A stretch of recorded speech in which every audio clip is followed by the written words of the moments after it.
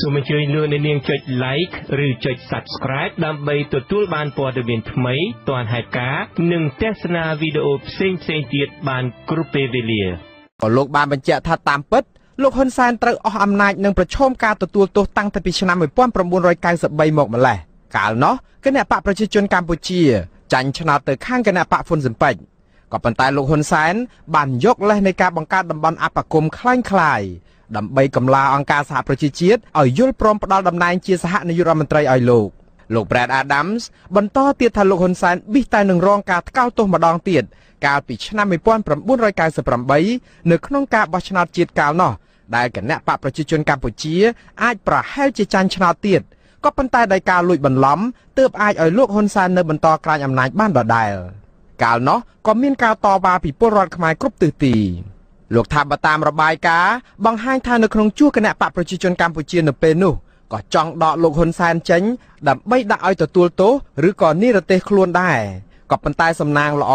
លោកហ៊ុនសែននៅតែបន្តអាចក្រាញអំណាចបានមួយអាណត្តិទៀត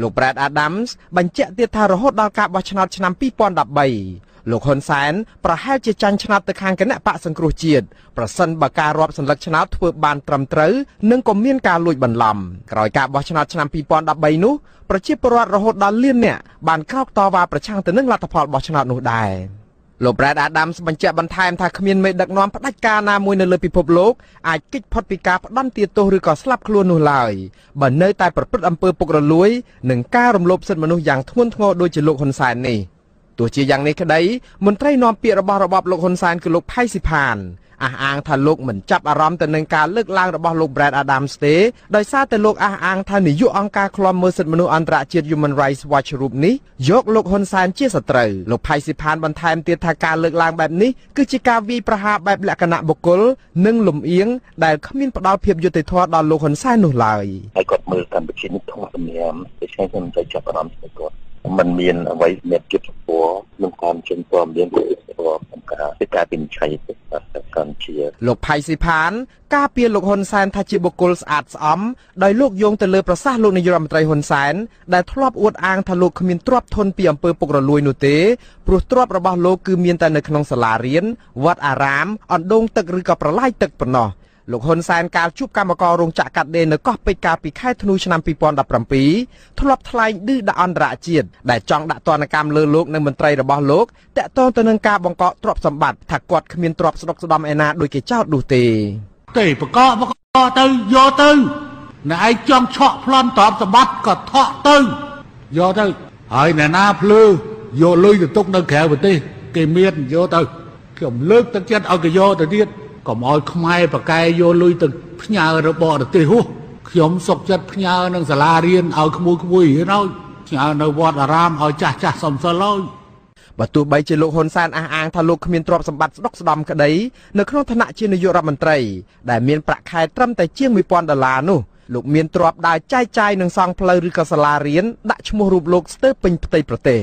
ម្យ៉ាងទៀតកាលពីខែមេសាកន្លងទៅនេះ លោកបានឡើងគេហដ្ឋានថ្មីដ៏ធំស្កឹមស្កៃនៅទួលកសាំងក្រុងតាខ្មៅបើតាមរបាយការណ៍អង្គការឃ្លាំមើលពិភពលោក Global Witness ចេញផ្សាយកាលពីខែកក្កដាឆ្នាំ2016បានរកឃើញនៅទ្រព្យសម្បត្តិយ៉ាងស្ដុកស្ដម្ភក្នុងគ្រួសារត្រកូលហ៊ុនដែលបានមកពីអំពើពុករលួយនិងការកេងប្រវ័ញ្ចពីប្រជាពលរដ្ឋខ្មែរ អង្គការនេះរកឃើញថាលោកហ៊ុនសែនគ្មានប្រាក់ចំណូលអ្វីក្រៅពីប្រាក់ខែជាង1000ដុល្លារក្នុងមួយខែនោះទេក៏ប៉ុន្តែក្រុមគ្រួសារត្រកូលហ៊ុនមានក្រុមហ៊ុនជាច្រើនដែលមានទុនលើសពី200លានដុល្លារ ការលើកឡើងរបស់លោក Brad Adams អំពីជោគវាសនារបស់លោកនាយរដ្ឋមន្ត្រីហ៊ុនសែនគឺស្របគ្នាទៅនឹងព្រឹត្តិការណ៍ចាប់ខ្លួនអតីតប្រធានាធិបតីម៉ាឡេស៊ីលោក Najib Razak ដែលត្រូវបានអាជ្ញាធរម៉ាឡេស៊ីចាប់ខ្លួននៅថ្ងៃទី3ខែកក្កដានេះពីបទជាប់ពាក់ព័ន្ធទៅនឹងអំពើពុករលួយដែលមានទឹកប្រាក់រហូតដល់ជាង4.5000លានដុល្លារមុននឹងចាប់ខ្លួនលោក Najib Razak សមត្ថកិច្ចបានចុះទៅឆែកឆេរផ្ទះរបស់លោកហើយរឹបអូសបានប្រាក់និងទ្រព្យសម្បត្តិដ៏សន្ធឹកសន្ធាប់ សរុបជាទឹកប្រាក់ជាង225លានដុល្លារគ្រាន់តែកាបូបយួរដៃម៉ាក់ល្បីរបស់ភរិយារបស់លោក Najib Razak មានទឹកប្រាក់រហូតដល់ប្រហែលជា12លានដុល្លារការឆែកឆេរនឹងឈានដល់ការចាប់ខ្លួនលោក Najib Razak នេះគឺនៅក្រៅគណៈបកកាន់អំណាចរបស់លោកចាញ់ឆ្នោតកាលពីខែឧសភា លោក Brad Adams អះអាងថាលោកហ៊ុនសែនដឹងច្បាស់ខ្លួនលោកហើយថារយៈពេលកាន់អំណាចជាង33ឆ្នាំមកនេះលោកបានប្រព្រឹត្តអំពើពុករលួយជាច្រើន ដែលធ្វើឲ្យលោកហ៊ុនសែនសពថ្ងៃក្លាយជាសេដ្ឋីមានទ្រព្យមហាសាលមនុស្សនៅជុំវិញលោកក៏ក្លាយជាសេដ្ឋីច្រើនណាស់ដែរមិនតែប៉ុណ្ណោះលោកហ៊ុនសែនដឹងថាលោកពិតជាបានប្រព្រឹត្តអំពើរំលោភសិទ្ធិមនុស្សរាប់មិនអស់ រួមមានការសម្លាប់មនុស្សក្រៅប្រព័ន្ធច្បាប់និងការបញ្ជាឲ្យប៉ូលីសនិងទាហានវាយដំនិងធ្វើបាបអ្នកតវ៉ានិងការបញ្ជាឲ្យចាប់មនុស្សជាច្រើនផ្សេងទៀតដោយសារតែអ្វីកំពុងតែកើតមានឡើងនៅប្រទេសម៉ាឡេស៊ីនេះទើបលោក Brad Adams យល់ថាលោកហ៊ុនសែននឹងរឹតតែបង្ហាញពីភាពខូខើដើម្បីបន្តក្រាញអំណាចតទៅទៀតរហូតស្លាប់ខ្លួនទោះជាយ៉ាងនេះក្តីលោក Brad Adams យល់ថាអ្វីដែលកើតឡើងនៅប្រទេសម៉ាឡេស៊ីគឺជាមេរៀនសម្រាប់មន្ត្រីបកកាន់អំណាចឲ្យភ្ញាក់រលឹក ងាកមករកកន្លងប្រជាធិបតេយ្យវិញដើម្បីរៀបចំឲ្យមានការបោះឆ្នោតដោយសេរីត្រឹមត្រូវនិងយុត្តិធម៌ដើម្បីឲ្យមានការចូលរួមពីគ្រប់ភាគីបើសិនជាមន្ត្រីបកកណ្ដាលអំណាចមិនចង់ជួបរឿងអកុសលបែបនេះនោះទេក៏ប៉ុន្តែលោក Brad Adams ថាការបោះឆ្នោតនៅថ្ងៃទី29ខែកក្កដាខាងមុខនេះគឺជាឆាកល្ខោននយោបាយដើម្បីបន្លំភ្នែកតែប៉ុណ្ណោះ មិនមែនជាការបោះឆ្នោត ដែលសេរីត្រឹមត្រូវនឹងយុត្តិធម៌ដែលទទួលយកបានពីប្រជាពលរដ្ឋខ្មែរនិងសហគមន៍អន្តរជាតិនោះឡើយខ្ញុំបាទមួងណារ៉េតអាស៊ីសេរីពីរដ្ឋធានី Washington បាទលោកនាងប្រិមម្នាក់ស្ដាប់ជាទីមេត្រីខ្ញុំបាទសូមធ្វើការកែតម្រូវបន្តិចលោកណាជីបរ៉ាហ្សាក់លោកមិនមែនជាអតីតប្រធានាធិបតីម៉ាឡេស៊ីទេតាមពិតមុខតំណែងរបស់លោកពិតប្រាកដគឺលោកជាអតីតនាយករដ្ឋមន្ត្រីម៉ាឡេស៊ីបាទបាទព័ត៌មានដាច់ដライមួយទៀតក្រសួងព័ត៌មាននៃរបបលោកហ៊ុនសែនហៅអ្នកកាសែតទៅដាស់តឿនក្រើនរំលឹករឿងប្រកាសអន្តរក្រសួងស្ដីពីការគ្រប់គ្រងគេហទំព័រនិងបណ្ដាញសង្គមនៅថ្ងៃទី4ខែកក្កដាស្អែកនេះអ្នកជំនាញផ្នែកសារព័ត៌មាននិងមន្ត្រីសិទ្ធិមនុស្សយល់ឃើញស្របគ្នាថាប្រកាសអន្តរក្រសួងនេះមានលក្ខណៈរដ្ឋបិទធ្ងន់ធ្ងរដល់សេរីភាពសារព័ត៌មាននៅមុនការបោះឆ្នោតមកដល់ហើយអាចនឹងជះឥទ្ធិពលអវិជ្ជមានដល់ការបំពេញមុខងាររបស់អ្នកសារព័ត៌មាននិងសេរីភាពក្នុងការទទួលបានព័ត៌មានរបស់ប្រជាពលរដ្ឋបានលោកនាងនឹងបានស្ដាប់សេចក្តីរាយការណ៍ពិស្ដារជុំវិញព័ត៌មាននេះនៅក្នុងកម្មវិធីផ្សាយរបស់យើងនាព្រឹកស្អែកបាទសូមអរគុណ បាទលោកនាងប្រិមម្នាក់ស្ដាប់ជាទីមេត្រីលោកនាងទើបបានស្ដាប់ព័ត៌មានប្រចាំថ្ងៃរបស់ Visual Asia សេរីដែលរៀបចំជូនដោយខ្ញុំបាទមានរិទ្ធពីរដ្ឋធានី Washington សហរដ្ឋអាមេរិកបាទសូមអញ្ជើញលោកនាងរងចាំស្ដាប់នាទីវេទិកាអ្នកស្ដាប់អាស៊ីសេរីនាពេលបន្តិចទៀតនេះ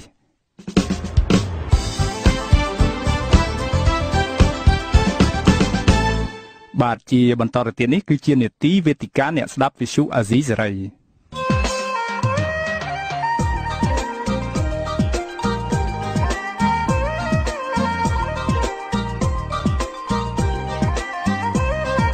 វេទិកាអ្នកស្ដាប់វិទ្យុអាស៊ីសេរី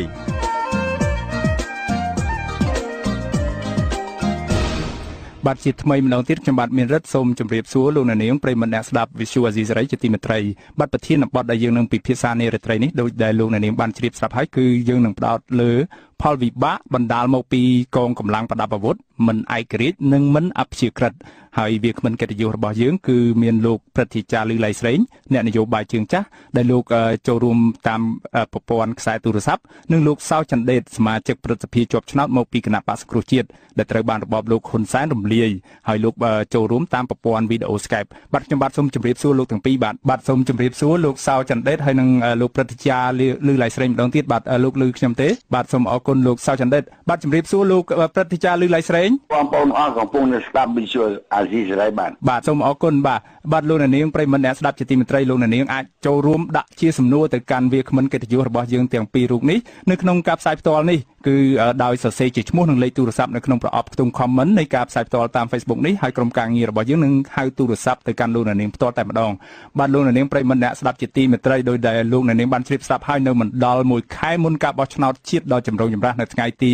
29ខែកក្កដានេះលោកនាយករដ្ឋមន្ត្រីហ៊ុនសែនបានដំឡើងតំណែងកូនប្រុសច្បងរបស់លោកគឺលោកហ៊ុនម៉ាណែតឲ្យឡើងកាន់តំណែងកម្ពុជាជានាយសេនាធិការចម្រុះនៃស្ដីទីនិងជាមេបញ្ជាការកងទ័ពជើងគោកស្ដីទីបន្ថែមលើមុខងារបច្ចុប្បន្នដែលលោកជាមេបញ្ជាការកម្លាំងពិសេសប្រឆាំងភេរវកម្មហើយមិនតែប៉ុណ្ណោះក៏មានការបង្ហើបព័ត៌មានមកថា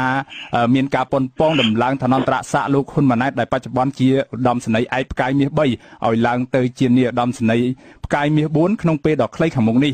ហើយការកាន់កាប់មុខតំណែងនិងឋានន្តរស័ក្តិទាំងនេះគឺសុទ្ធតែជាមុខតំណែងកម្ពុជាចិត្តផុតលេខនៅក្នុងជួរយោធាគឺនៅសល់តែមួយកម្មទៀតប៉ុណ្ណោះនៅពីក្រោមតំណែងជានាយករដ្ឋមន្ត្រីដែលជានាយឧត្តមសេនីយ៍ផ្កាយមាស5ផុតលេខបាទអ្នកវិភាគនយោបាយក៏ធ្លាប់បានពមៀនដែរថាការប៉ុនប៉ងដំឡើងផ្កាយកូនប្រុសច្បងរបស់លោកហ៊ុនសែននៅក្នុងជួរកម្ពុជាកម្ពុជាយោធានេះយ៉ាងឆាប់រហ័សបែបនេះអាចនឹងឈានទៅរកការធ្វើរដ្ឋប្រហារឬបកប្រហារ ព្រោះថាលោកហ៊ុនសែនគិតប្រយោជន៍ក្រុមគ្រួសារខ្លួនច្រើនជាងគិតគូរពីគុណសម្បត្តិរបស់មន្ត្រីយោធាចាស់ភាសាដទៃទៀតដែលជាសមាមិត្តរួមអាវុធរបស់លោកបាទការដំឡើងតំណែងនេះគឺស្របពេលដែលអង្គការឃ្លាំមើលសិទ្ធិមនុស្សអន្តរជាតិ Human Rights Watch បានចេញផ្សាយនៅរបាយការណ៍ថ្មីមួយស្ដីពីបុគ្គលនាយឧត្តមសេនីយ៍បាតដៃកខ្វក់12រូបរបស់កម្ពុជាដែលមានប្រវត្តិរំលោភសិទ្ធិមនុស្សដ៏យូរអង្វែងនិងគ្រប់គ្រងគណៈបកកណ្ដាលអំណាចគឺគណៈបកប្រជាជនកម្ពុជាហើយអង្គការនេះក៏ជំរុញឲ្យមានការបើកការស៊ើបអង្កេតទៅលើក្រុមបុគ្គលដែលមានឈ្មោះនៅក្នុងរបាយការណ៍នេះដើម្បីកាត់ទោសពួកគេតាមច្បាប់អន្តរជាតិនិងជំរុញឲ្យមានការធ្វើការកែតម្រង់ទាំងស្រុងលើវិស័យសន្តិសុខនៅកម្ពុជាដើម្បីធានាឲ្យបាននៅកងកម្លាំងសន្តិសុខប្រកបដោយវិជ្ជាជីវៈនិងមានឯករាជ្យដាច់ស្រឡះពីការត្រួតត្រារបស់គណៈបកកណ្ដាលអំណាចដែលពិតជាមានសារៈសំខាន់បំផុតដើម្បីបញ្ចប់ការរំលោភសិទ្ធិមនុស្សធ្ងន់ធ្ងរជាប្រព័ន្ធនិងបង្កើតបានជាស្ថាប័នប្រជាធិបតេយ្យមួយពិតប្រាកដបាទ ជាដំបូងនេះខ្ញុំសូមដាក់ជាសំណួរទៅលោកព្រឹទ្ធាចារ្យលឺឡៃស្រេងខ្ញុំចង់ឲ្យលោកធ្វើការវិតម្លៃជារួមទៅលើប្រព័ន្ធកងកម្លាំងប្រដាប់អាវុធវិស័យកងកម្លាំងប្រដាប់អាវុធនៅកម្ពុជានេះថាតើមានភាពអព្យាក្រឹតនឹងអឺនិងឯករាជ្យនឹងដល់កម្រិតណាទៅហើយខណៈដែលពលរដ្ឋទូទៅមិនមានការមិនមានជំនឿទាល់រសោះថាថាកងកម្លាំងប្រដាប់អាវុធរបស់កម្ពុជាឈរលើជាតិជាធំ ជាជាងឈរលើរបបនាយកលោកនាយករដ្ឋមន្ត្រីហ៊ុនសែនតែម្ដងជាបុគ្គលនោះបាទបាទសូមអញ្ជើញលោកព្រឹទ្ធាចារ្យលឺឡៃស្រេងបាទបាទមុននឹងឆ្លើយឆ្លើយនិយាយសិនខ្ញុំវាអស់អស់អស់ដូចថាវាដូចថាម៉េចវាអស់សំណើចពេកបាទអារឿងនេះមិនទៅសួរខ្ញុំផងទេណែរឿង គេប្រកាសខ្លួនគេតាមកអង្គគប់បដាប់អាវុធទាំងអស់ហ្នឹងគេថាគេមិនផាន់នៅរនផាន់គេផាន់សម្ដេចហ៊ុនសែនតាពួកលោកសម្ដេចហ៊ុនសែននឹងឲ្យថាមន្តរសាគេឲ្យគេគេទាំងអស់ដូច្នេះតែហ៊ានសពថ្ងៃនេះតែហ៊ានហ៊ុនសែនទាំងអស់បាទមិនហ៊ានរត់ទេបាទមកតែហ៊ានរត់មិនចឹងទេខ្ញុំសូមនិយាយវិញញ៉ៃចេះវិញថាតែហ៊ានរត់ គឺជាតែហ៊ានឯករាជ្យមួយបំរើជាតិបំរើប្រជាពលរដ្ឋមិនមែនទៅវាយប្រជាពលរដ្ឋវាយទេគឺបំរើជាតិបំរើប្រជាពលរដ្ឋហើយរដ្ឋាភិបាលរដ្ឋាភិបាលណាក៏ដោយផ្លាស់ប្ដូរណែកងប្រដាប់អាវុធអត់ផ្លាស់ប្ដូរគេនៅដដែលបាទគឺគេឯករាជ្យអត់មានផ្លាស់ប្ដូរទេរីឯ ណែតាហ៊ានកងប្រដាប់អាវុធសពថ្ងៃនេះគេកាត់ខ្លួនគេតាកាលគេផងគេគេបង្រើទៅសម្ដេចហ៊ុនសែនហើយខ្ញុំវាព្រួយបារម្ភដែរព្រោះបានថាបើសិនជាសម្ដេចហ៊ុនសែនថ្ងៃណាគាត់ចុះទៅគាត់ថាគាត់ពីអាណត្តិចុះទៅអត់ណាពីអាណត្តិចុះទៅឬក៏មួយអាណត្តិទៀតចុះទៅឬក៏អាណត្តិនេះណែមានការបញ្ហាអីស្មុគស្មាញចុះទៅបាទ អាគណៈបកថ្មីអានេះអានេះគ្នាស្តុកនាំប្រទេសជាតិថ្មីនេះអត់អត់មានហ៊ានលីយោទៅអស់ថាតាមសម្ដែងយោថាពី100,000ប្រាយណែណោទៅរឿយណាមកបាទមាននេះតែហ៊ានណានេះតែហ៊ានកាយ4មួយណាតលតា40ទៅ50 40ឆ្នាំមកបានពាក់ដល់ស្កាយ4បាន បាទនិយាយទេហើយមកមកបង្ហាញមិនកើតដូចចេះអាអារដ្ឋមន្ត្រីអានឹងរដ្ឋាភិបាលថ្មីហ្នឹងបើឆ្ងាយឆ្នោតទៅបើសិនជាទេខ្ញុំអត់ដឹងទេបើថាបើសិនជារដ្ឋាភិបាលថ្មីមួយមកកាន់បានហ៊ានពីណាមកបាទអញ្ចឹងត្រង់ចំណុចនេះលោកព្រឹទ្ធាចារ្យលឺឡៃស្រីខ្ញុំចង់កាត់ប្រសាសន៍លោកបណ្ឌិតលោកព្រឹទ្ធាចារ្យបន្តិចថាតើអឺ ករណីដែលរបបលោកហ៊ុនសែនព្យាយាមប៉ុនប៉ងដំឡើងតំណែងកូនប្រុសរបស់លោកគឺលោកហ៊ុនម៉ាណែតនឹងឲ្យឡើងដល់ឋានៈឋានន្តរស័ក្តិចិត្តកម្ពុជានឹងហើយនឹងតើលោកមុលលោកព្រឹទ្ធាចារ្យយល់ឃើញយ៉ាងដូចម្ដេចដែរជាពិសេសនៅមុនការបោះឆ្នោតកើតឡើងនេះតើវាមានតំណាក់តំណងអ្វីនៅពីក្រោយហ្នឹងបាទ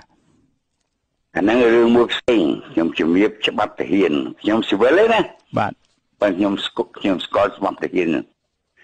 បាទទាហានតែពីផ្កាយមួយហើយផ្កាយមួយថ្ងៃហ្នឹងស្អែកដល់ផ្កាយពីរក៏បានដែរ បាទដូចជាអាតម្លើងផ្កាយហ្នឹងអត់អត់ជាបញ្ហាទេហើយណែហ៊ុនម៉ាណែតឧត្តមស្រីហ៊ុនម៉ាណែតហ្នឹងនិយាយអត់មែនទេគាត់ qualify គាត់សំហើយសំផលដែរដល់ឡើងទៅផ្កាយ4នោះអាផ្កាយ4អត់ដឹងមកកំព្រួងគិតបាទដូចជាខ្ញុំមិនកាន់ជឿហ៊ុនណែទេប៉ុន្តែការដំណើរនេះខ្ញុំអត់អត់អត់យល់គាត់ទេពីព្រោះគាត់ចេញពីពី West Point តែហ៊ានខ្មែរមេអននេះណាក់ដឹកនាំជាន់ខ្ពស់នៃយោធាខ្មែរមានតែម្នាក់ចេញមកពី West Point ដូច្នេះខ្ញុំអត់មានអីធ្វើអត្ថាធិប្បាយលើនឹងទេហ្នឹងគឺថាហើយអារឿងរ៉ាវនេះទៀតតែផ្កាយមួយឯហ្នឹងស្អែកផ្កាយពីរក៏បានដែរហ្នឹងច្បាប់ចាស់ខ្ញុំអត់ច្បាប់ថ្មីទេដូច្នេះរឿងលោកហ៊ុនម៉ាណែតខ្ញុំអត់អត់វគ្គវគ្គពើនៅព្រោះ ច្បាប់វាអញ្ចឹងបាទបាទបាទអរគុណលោកប្រតិជាលឺឡៃស្រេងបាទខ្ញុំសូមងាកសំណួរនេះទៅលោកសៅចន្ទដេតវិញម្ដងបាទលោកជាសមាជិកព្រឹទ្ធសភានៃគណៈបកសង្គ្រោះជាតិខ្ញុំចង់បានការវិតម្លៃនិងការយល់ឃើញរបស់លោកលោកព្រឹទ្ធជាលឺឡៃស្រេងបានលើកឡើងថាទាហាននៅកម្ពុជាឬក៏យោធានៅកម្ពុជាទាំងអស់ហ្នឹងគឺមិនមែនជារបស់រដ្ឋទេគឺជារបស់លោកហ៊ុនសែនតែម្ដងបាទតើលោកយល់ឃើញថាកម្ពុជាមួយដែលជាប្រទេសរដ្ឋអធិបតេយ្យនិងមានឯករាជ្យ ត្រឹមត្រូវនោះមានទាហានរបស់ខ្លួនបំរើជាតិរបស់ខ្លួនដែរទេមកទល់ពេលនេះជាក្រិតភាពនៃកងកម្លាំងប្រដាប់អាវុធមិនត្រឹមតែទាហានគឺថាកងកម្លាំងប្រដាប់អាវុធគឺថាទាំងអស់គឺវាអត់មានអីឯករាជ្យទេតែបើជាទាហានទាហានដែលលោកហ៊ុនសែនក៏តែងតែទាញទាញគេយកមកទាញគេយកមកឲ្យប្រឡាក់ប្រឡុកប្រឡាក់នឹងអំពើពៀលព្រៃសៃរបស់គាត់គេអត់មាន គេអត់មានអីទៅពាក់ព័ន្ធនឹងគាត់ទេដូចថ្មីថ្មីម្សិលមិញគាត់ថាបើពីដណ្ដប់មើលអ្នកជាងនឹងគឺស្មោះស្ម័គ្រនឹងគាត់ គេមិនពេញចិត្តគាត់ទេ គឺដោយសារការបង្ខំការជំរិតគេដូចថាវាវាអាប្រព័ន្ធ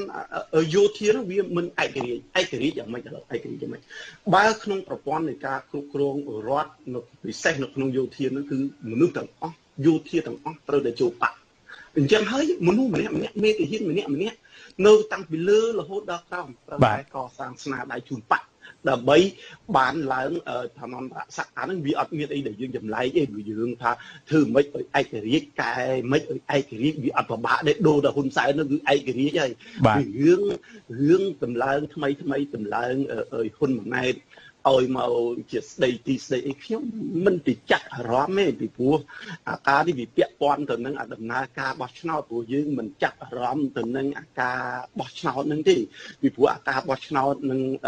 ថ្ងៃខាងមុខនេះគឺជាការបោះឆ្នោតលេងសើចប្រគ្រប់កិច្ចដើម្បីហ៊ុនសែនគាត់រៀបចំប្រព័ន្ធគ្រប់គ្រងបែបយោធាផ្ដាច់ការរបៀបបងធំហ្នឹង បាទវាអត់មានអីដែលយើងចាប់អារម្មណ៍អញ្ចឹងអ្វីដែលគេដំឡើងទូនាទីហ៊ុនម៉ាណែតគឺរូបភាពតែមួយគត់គឺគម្រាមកំហែងពលរដ្ឋដែលធ្វើពាក្យឯកាមិនទៅបោះឆ្នោតពីព្រោះគេដឹងហើយគេដឹងថាការបោះឆ្នោតខាងមុខនេះគឺថាប្រជាពលរដ្ឋរាប់លាននាក់នឹងមិនទៅបោះឆ្នោតគឺច្បាស់ប្រកបហើយពលពលរដ្ឋខ្មែរលោក លោកលោកមកដល់ពេលនេះលោកអត់ខ្លាចទេហើយរហូតដល់មន្ត្រីរាជការមួយចំនួនទៀតគេនឹងមិនទៅបោះឆ្នោតពិសេសគឺថា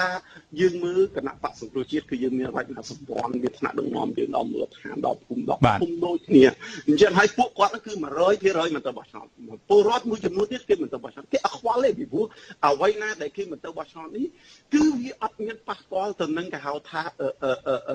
ប្រឆាំងនឹងច្បាប់ដែលក្រមលោកហ៊ុនសែននឹងបង្កើតឡើងទេ ហើយក៏អត់មានអ្វីណាទៅប្រឈមដែរនឹងពិបាកនឹងឆ្លើយដែរអញ្ចឹងគាត់ភ័យគាត់ភ័យថាអាការបោះឆ្នោតនឹងអត់មានមនុស្សទៅបោះឆ្នោតមានន័យថាពលរដ្ឋអត់គ្រប់គ្រងកាត់របបដែលគាត់រៀបចំផ្ដាច់ការក្រោយការបោះឆ្នោតខាងមុខហ្នឹងអញ្ចឹងគាត់ដាក់ហ៊ុនម៉ាណែតនេះគឺដាក់រូបភាពគម្រាមនេះគម្រាមអឺពលរដ្ឋគម្រាមអឺមនុស្សមួយចំនួនដែលគេថា អើយគាត់ខ្លាចគាត់អីប៉ុន្តែគាត់យល់ច្រឡំហើយគេមិនចាប់អារម្មណ៍ចង់កត់តម្លើងអីតម្លើងទៅព្រោះរឿងអីសំខាន់ស្រុកទេយើងត្រូវតែរៀបចំឡើងវិញត្រូវតែ គ្រប់គ្រងឡើងវិញมันអាចឲ្យបុគ្គលក្រុមហ៊ុនសែនក៏ធ្វើអីតែផ្ដេសផ្ដាស់បាទអរគុណលោកសៅចន្ទដេនអំបញ្ញមិញលោកបានមានប្រសាសន៍ថាកងកម្លាំងប្រដាប់អាវុធនៅកម្ពុជានឹងគឺវិស័យកងកម្លាំងប្រដាប់អាវុធនៅកម្ពុជាមិនមានភាពឯករាជ្យឬក៏អព្យាក្រឹតដោយសារតែកងកម្លាំងយោធាឬក៏កងកម្លាំងប្រដាប់អាវុធជារួមត្រូវបានគេបង្ខំឲ្យចូលទៅកាន់ឲ្យចូលគណៈបកកណ្ដាលអំណាចតើត្រង់ចំណុចនេះមិនខុសទេពីច្បាប់ស្ដីពីលក្ខន្តិកៈទូទៅនៃកងកម្លាំងកងយុទ្ធពលខេមរៈភូមិន្ទដែលបានចែងឲ្យថាមាត្រា9ចែងឲ្យថាយោធិនត្រូវមានភាពអព្យាក្រឹតនៅក្នុងមុខនេតិតើមានភាពខុសគ្នាយ៉ាងណាខ្លះពីជាក់ស្ដែងនៅក្នុងការអនុវត្តជាក់ស្ដែងនៅក្នុងច្បាប់ដែលបានចែងបាទសូមអញ្ជើញលោកសៅចិនដេតបន្តបាទច្បាប់ជារឿងរួមជារឿងទ្រឹស្ដីដោយដែលអាដាមអេជាអៀងគាត់ឡសបានលើកហើយហើយច្បាប់ដែលគេសរសេរនៅស្រុកខ្មែរគឺសរសេរនៅក្នុងกระดาษនៅក្នុងសភៅហើយអាច្បាប់នោះវាមិនលោតមកចេញមកក្រៅចាប់បង្ខំឲ្យមនុស្ស ទៅអនុវត្តទេគឺមនុស្សទេអញ្ចឹងអាប្រព័ន្ធអាការគ្រប់គ្រងអាការធានានឹងការអនុវត្តច្បាប់គឺគ្រប់ដឹកនាំដោយលោកហ៊ុនសែនចុះបើលោកហ៊ុនសែនគាត់គ្រាន់តែបង្កើតទៅសេនៅក្នុងសភៅដើម្បីឲ្យល្អមើលសម្រាប់អ្នកដែលណាតែចូលចិត្តអានចូលចិត្តវិភាគនៅពីចម្ងាយប៉ុន្តែរឿងជាក់ស្ដែងគឺมันបានអនុវត្តបែបហ្នឹងជាក់ស្ដែងខ្ញុំក៏ធ្លាប់ធ្វើជារាជការ ខ្ញុំធ្លាប់ខ្ញុំទៅទៅចប់ទៅទៅឈប់ធ្វើឆ្នាំ2002និយាយទៅឲ្យជាក់ស្ដែងទៅខ្ញុំធ្វើការនៅកំពង់ផែភ្នំពេញគឺគ្រប់គ្រប់គឺអ្នករាជការទាំងអស់ត្រូវតែបង់លុយចូលបាក់កាត់ប្រាក់ខែយ៉ាងតិចយ៉ាងតិចបំផុតអ្នកដែលទូនីតិទៀតបំផុតគឺ500រៀលហើយ តង់តែហ៊ានគឺអញ្ចឹងនេះបលិសទៅហ៊ានគឺថាត្រូវតែបង់លុយជួយរដ្ឋតែម្ដងបាទអរគុណ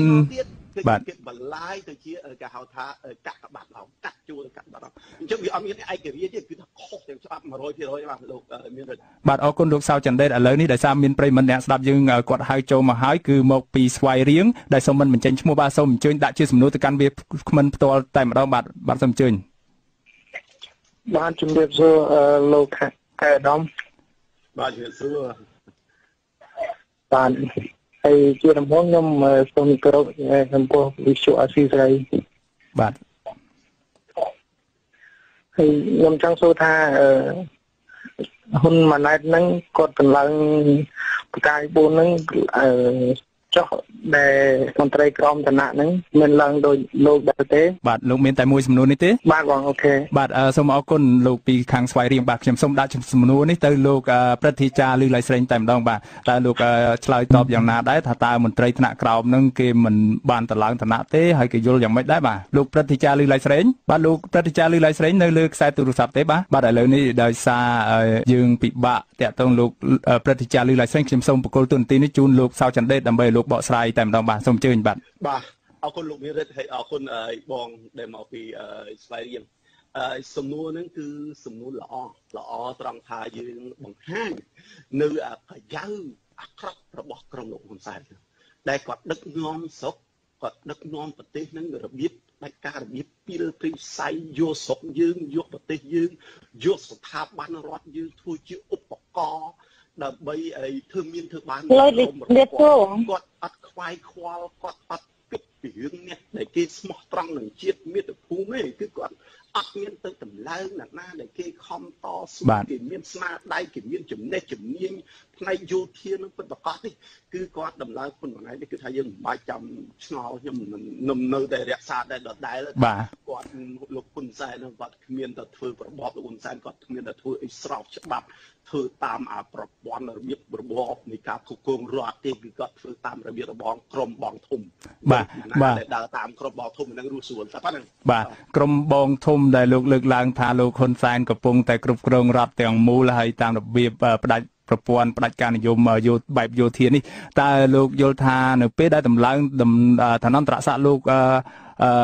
លោកហ៊ុនម៉ាណែតឲ្យឡើងដល់កម្ពុជានេះអាចនឹងមានការរង្គោះរង្គើផ្ទៃក្នុងនៅក្នុងបកជួរបកប្រជាជនកម្ពុជាជាពិសេស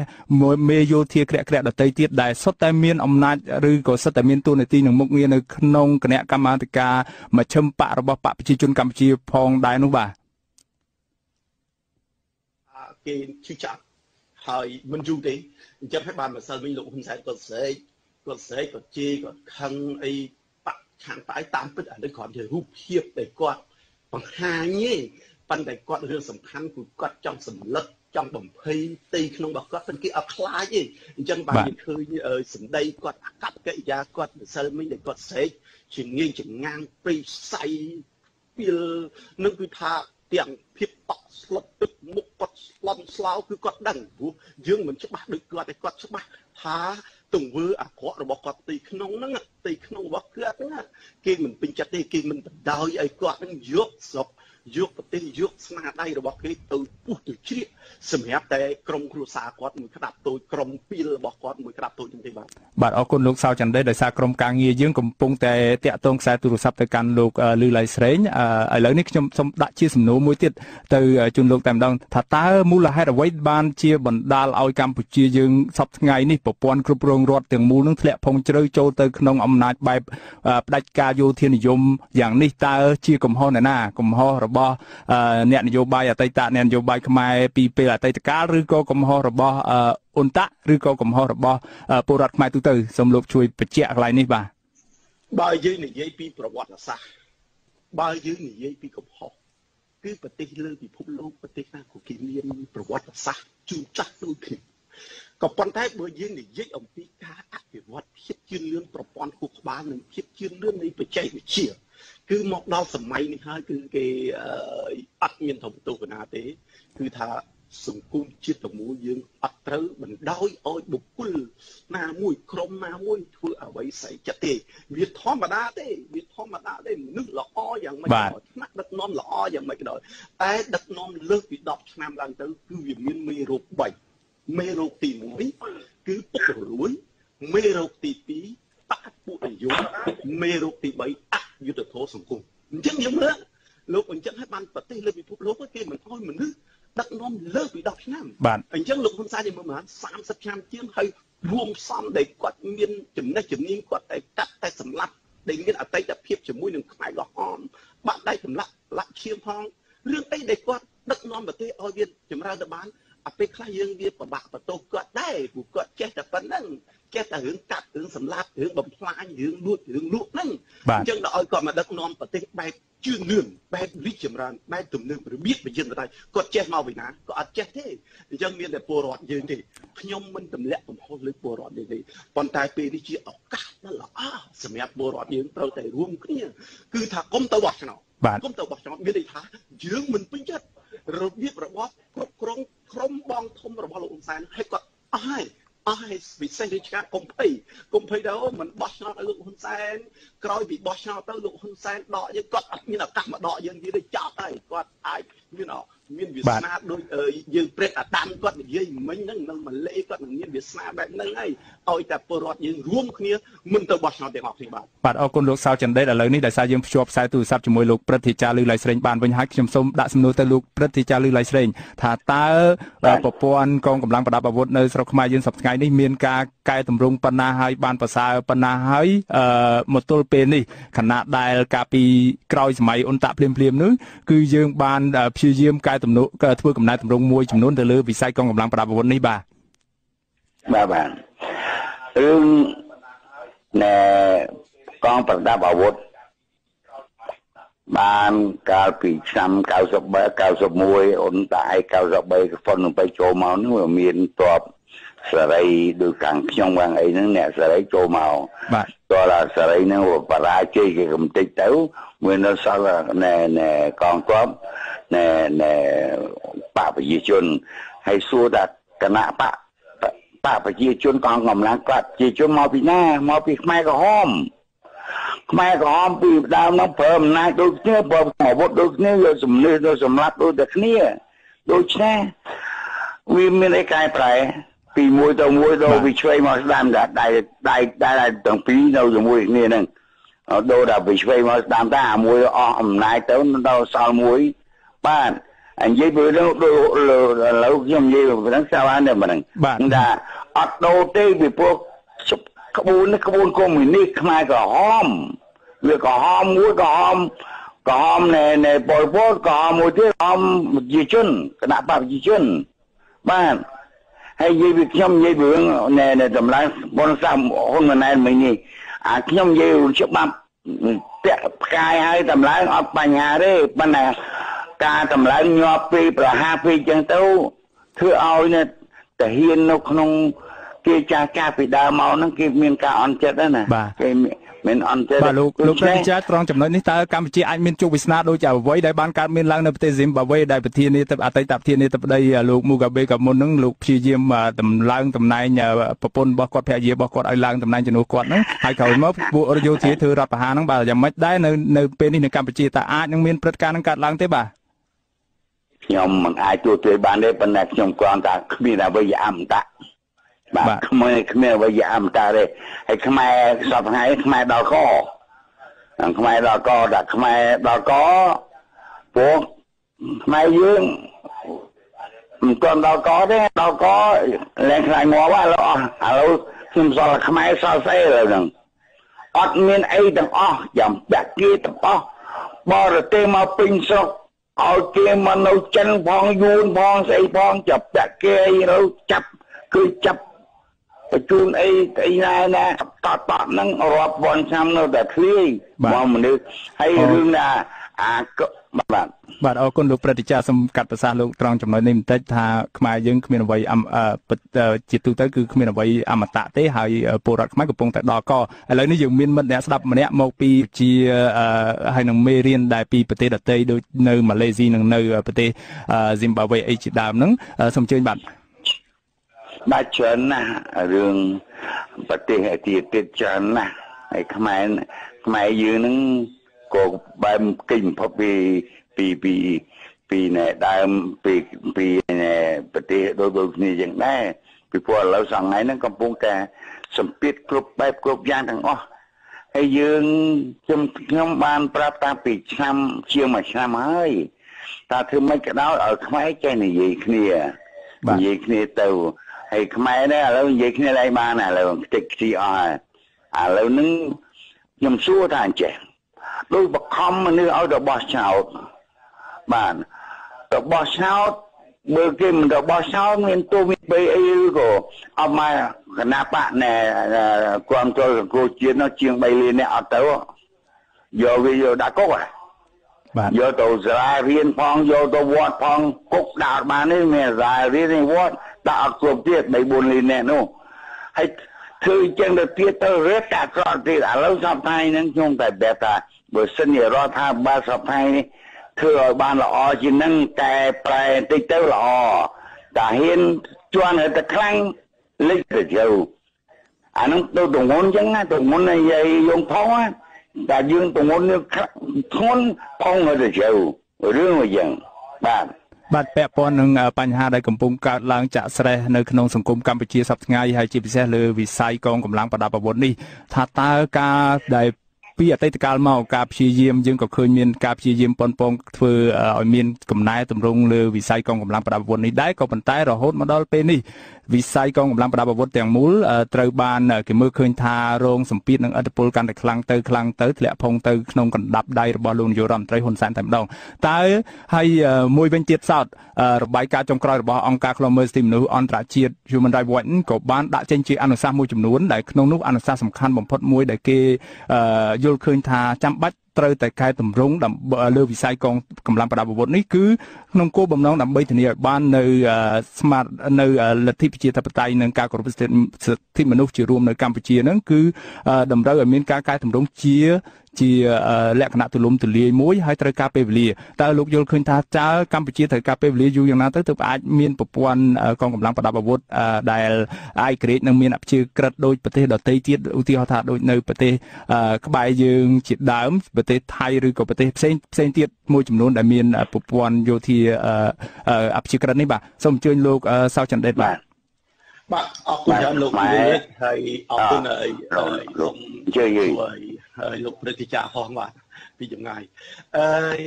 តាមពិតទៅកម្ពុជាអត់យូរទេបើចង់កំណែតម្រង់ប្រព័ន្ធយោធាឲ្យឯករាជ្យភាពខ្ញុំធ្លាប់មានខ្ញុំស្គាល់ខ្ញុំមានមិត្តភ័ក្តិខ្ញុំដែលគេធ្វើការធំធំ នៅក្នុងប្រព័ន្ធយោធាមានលំដាប់កាយដាក់អីគេយល់គេដឹង ហើយអាការកំណែតម្រង់នោះខ្មែរយើងលឿនណាស់អត់មានពិបាកទេអត់មានដល់10ឆ្នាំ20ឆ្នាំនេះគឺថាអូតែយើងដូរ តែមនុស្សម្នាក់ចេញកុំឲ្យគាត់ទៅជាពាក់ជាពិនមានឥទ្ធិពលទៅលើនឹងអាគេហៅថាអប្រព័ន្ធយោធានោះទៅ គឺអាការកំណែតម្រង់កម្មយោធាកម្ពុជាឲ្យឯករាជ្យឲ្យវាល្អដោយប្រទេសជិតខាងខ្ញុំថាអត់ប្របាអត់ចំណាយពេលលូយូរគឺថាយើងយូរយ៉ាងយូរខ្ញុំវាយតាំងមួយឆ្នាំពីមុខខ្ញុំឃើញខ្ញុំមានមិត្តដូចខ្ញុំបាននិយាយទៅគឺថាអឺអឺទាហានខ្មែរយើងជាងជាង100000នាក់ដែលលោកហ៊ុនសែន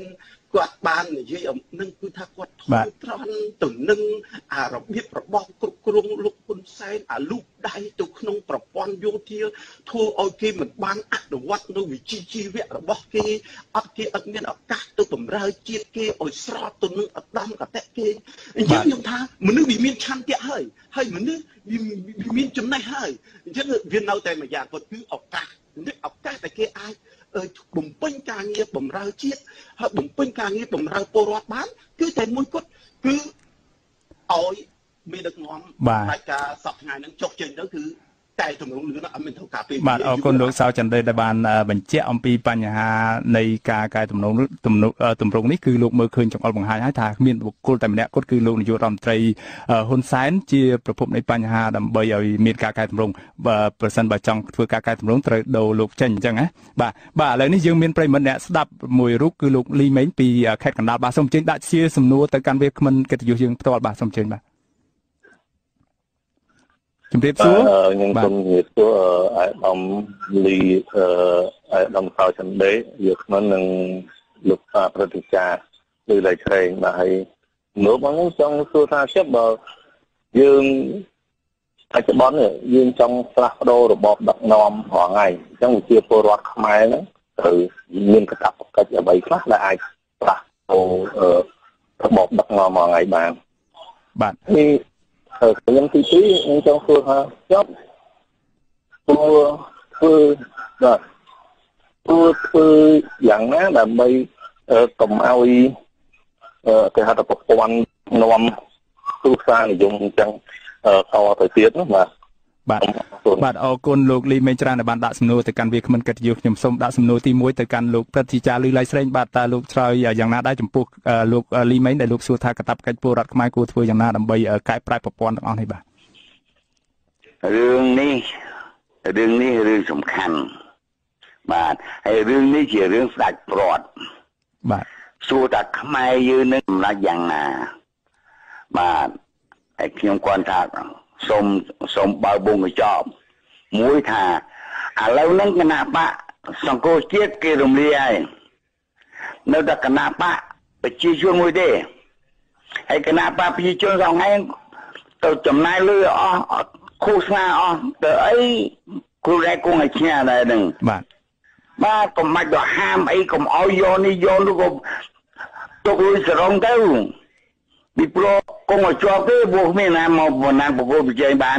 កណាបាក់ពលពេញនោះគ្នានោះបងមានបញ្ហាបងកណាបាក់ណែណែស្អីស្អីរួមជាតិនោះក៏មានបញ្ហាណាមានបញ្ហាបាទដូចចេះម៉ៃកូស្នាច្រើននេះគង់ជាប់ទេហើយបើគង់ជាប់ហើយម៉ៃកូស្នាច្រើនទៅអីរៀបចំផែនការ មកទៅមុខដោះស្រាយនៅប្រទេសដឹកនាំប្រទេសជាតិទៅក៏ប៉ុន្តែរឿងចេះរឿងថាខ្មែរនេះឥឡូវនេះខ្មែរឥឡូវខ្មែរនេះថ្ងៃក្រោយកុំបន្ទោថាអូគណៈបកប្រជាជនលក់ទឹកដីលក់អីឲ្យយួនកុំបន្ទោថាអូគណៈបកណែសង្គមជាតិគណៈបកសង្គមជាតិបន្ទោលេងបានដែរបាទបន្ទោខ្លួនឯងទៅបាទ បន្ទោខ្លួនឯងទៅពីព្រោះហេតុអីបានបន្ទោខ្លួនឯងខ្លួនឯងបោះចោលខ្លួនឯងខ្លាចខ្លាចងាប់ទៅបោះចោលក៏ងាប់ដូចគ្នាហើយខ្ញុំអត់មានហាមថាពីណាមុនកុំទៅបោះចោលក៏អត់ហាមទេទីគណៈបព្វជិជនណាក្រុមចោលខ្ញុំ ទៀតខ្ញុំគ្នាខ្ញុំនិយាយក្នុងស្នាមចិត្តខ្ញុំបាទលោកព្រឹទ្ធាចារ្យលីឡៃស្រីត្រង់ត្រង់កន្លែងនេះខ្ញុំកាត់ភាសាលោកព្រឹទ្ធាចារ្យដោយសារលោកព្រឹទ្ធាចារ្យមុនហ្នឹងមានភាសាអំបញ្ញមិញមានភាសាថាខ្មែរយើងកំពុងដល់កហើយខ្មែរដល់កហ្នឹងខ្ញុំចង់សួរលោកព្រឹទ្ធាចារ្យថាតើខ្មែរដែលដល់កហ្នឹងមានមន្ត្រីនៅក្នុងបកប្រជាជនដែរទេដែលដល់កដែរដូចគ្នានឹងថាតើគាត់ពួកគាត់នៅមន្ត្រីក្នុងបកប្រជាជនហ្នឹងគិតដូចគ្នាដែរទេមួយហើយមួយមួយហើយខ្លួនដែរអមែនមែនវា កុំថាពួកគណៈបកប្រជាជននឹងគេសប្បាយចិត្តណាតឹងទ្រូងជាងលោកតាលឺឲ្យស្រីទៀតណាលោកតាលឺស្រីតឹងទ្រូងប៉ុន្តែអ្នកនៅក្នុងគណៈបកហ្នឹងក៏តឹងទ្រូងជាងខ្ញុំទៅទៀតព្រោះមិនហ៊ាននិយាយវាវាមានលុយច្រើនពេកបាទបាទដូចជាវារាញ់មករាញ់ថាហើយរឿងតឹងទ្រូងតឹងសម្បើមណាស់ប៉ុន្តែនិយាយប្រជាពលរដ្ឋម្ដង ថ្ងៃហ្នឹងណាមកប្រជាពលរដ្ឋសម្រេចខ្លួនឯងសម្រេចយ៉ាងម៉េចសម្រេចទៅវាសម្រេចចង់ឲ្យយួនមិនលុយរកខ្មែរខ្លាចទៅបាទបើមិនសម្រេចថាអូចង់ឲ្យស្រុកខ្មែរនៅនេះសម្រេចខ្លួនឯងទៅឥឡូវហ្នឹងស៊ីសនតែខ្មែរហ្នឹងចូលមកសៀតដល់